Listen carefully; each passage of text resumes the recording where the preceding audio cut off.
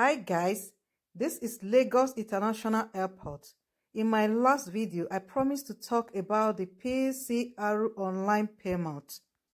There is no way you can get away without paying that payment. They will make you to fill forms online and they will give you an account number to pay the money within 48 hours and they will also give you a health care center address where you will go for another test after seven days of arriving. And if you are lucky, it will work. But there is no guarantee that you will be able to do that test in that health center. This is travel restriction list with 100 passengers passport number. I am not going to be showing the passenger's passport number here. You can go online to find out for yourself. If you have a family member, friend that is currently in Nigeria for a visit, ask them to go and find out if their passport number is here. We'll be talking detail about this list in a minute. Don't fail to share this video, please. No sharing is caring. I cared about you. That is why I'm sharing this video. And if you've not subscribed to this channel, please do that. To see my upcoming video, where I will be talking about the national ID card in Nigeria. Guys, there are a lot going on in that country. Please do support me by sharing, liking, and subscribing to enable me to bring more video to you. Hi guys, in this video I'm going to be talking about the PCRO online permit, which is the payment that is supposed to be made online before traveling to Nigeria. If you are planning to go to Nigeria or you have a family member friend who is planning to go to Nigeria or they are currently living in Nigeria or visiting Nigeria, share this video, let them know about this because the Federal Republic Government of, of Nigeria, Nigeria is placing restriction on 100 passengers passports, which means these passengers cannot leave Nigeria. They cannot travel out of Nigeria. These people traveled to Nigeria. And when they got to Nigeria, they didn't go for the COVID test after seven days. So for this reason, they cannot travel out of Nigeria till after six months. So you know what that means? Somebody is visiting Nigeria, maybe for business or for visitation, and cannot come back to the country where he or she is living till after six months. They have family over there. They have job. And they have bills to pay. They have responsibilities. Hmm? So, for this reason, I decided to come out here today to let you know about this. Please, before you leave the country where you are living, if it is very important for you to visit Nigeria, make sure you pay this money. Or you can swell pay the money in, in the Nigeria. Airport. If you have like extra two hours to spend in the airport, don't bother paying the money before leaving because they will make you to fill forms online when you get to Nigeria airport. And after filling the forms, they will give you an account number where you will pay this money. An account number where you can pay the money to, pending where you are living.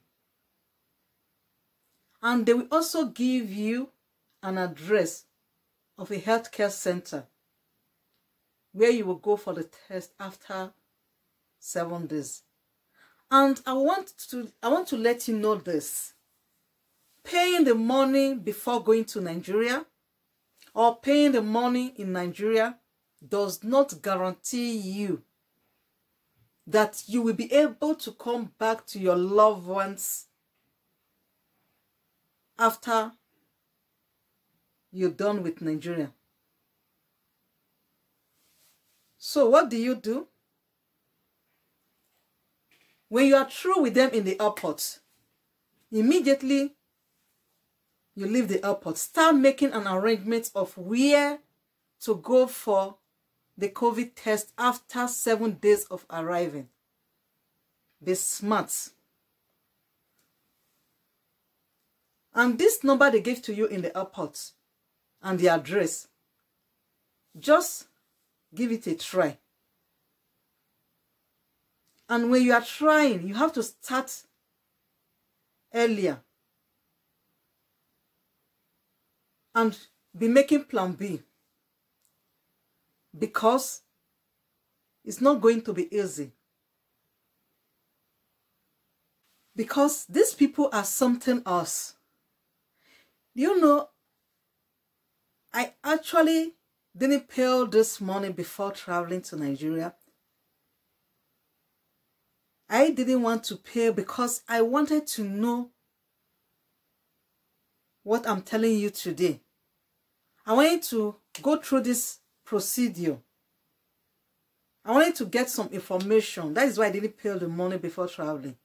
When I got to the airport in Nigeria, they gave me forms to fill, as I said before, and they gave me an account number and the healthcare center and all of those stuffs. The next day, I called the number they gave to me and these people were like, I was trying to like get an appointment for the test. They were like, they have a lot of patients. So I was still like insisting. And the price they gave me in the airport was different from the price these people were giving me. So what I did was I went online and I started searching for another health care center. They are actually health center where you can do these tests that are free. So I got some of them and I took the one that is in my state because I was traveling the next day and when I called this health center in my state, they were giving me another price. The all the uh, teaching hospitals in Nigeria are supposed to be free.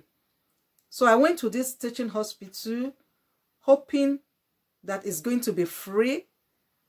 And when I got there, they asked me to pay 20,000 naira. And I told them that this test is supposed to be free. I saw online that it's free. And what the explanation they gave to me was if you are coming for like trying to know if you are uh, COVID positive or negative without we giving you any results. That is, they mean now the paper they are going to give to you, the sheet, it will be free. So we are going to give you this sheet.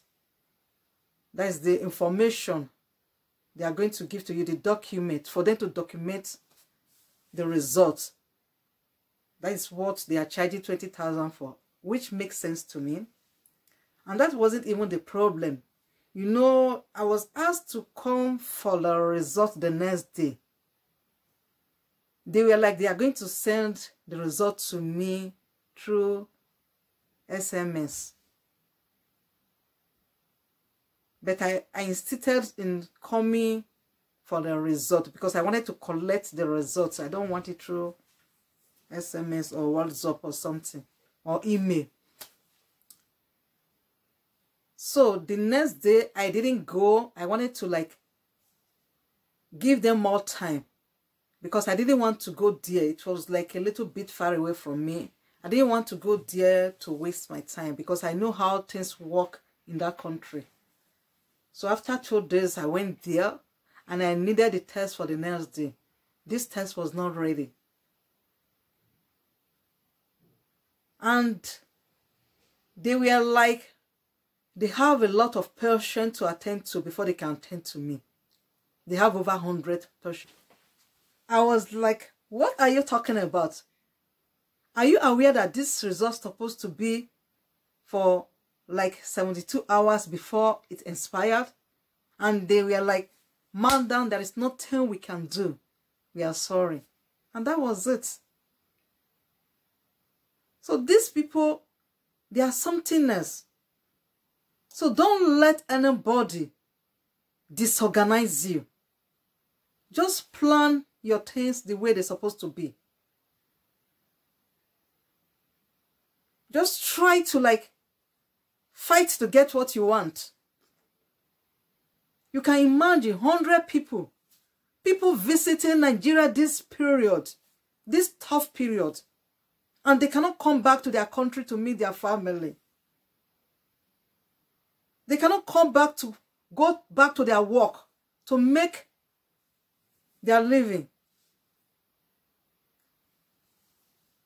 So, share this video, let people know about this. And if you've not subscribed to this channel, please consider doing that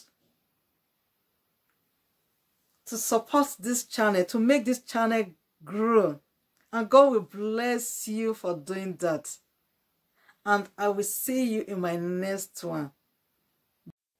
Bye.